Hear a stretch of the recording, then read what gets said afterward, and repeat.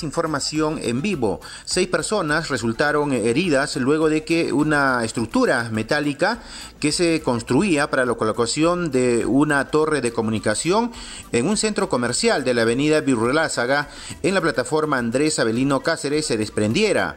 Esta torre cayó hasta el piso donde se vienen ejecutando obras por parte de la comuna provincial.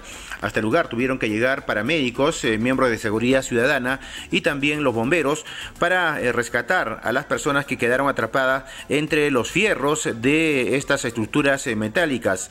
Estas personas fueron trasladadas hasta el área de emergencia del Hospital Honorio Delgado Espinosa, como también el Hospital Goyeneche. Dentro de ellos hay una menor de 8 años de edad.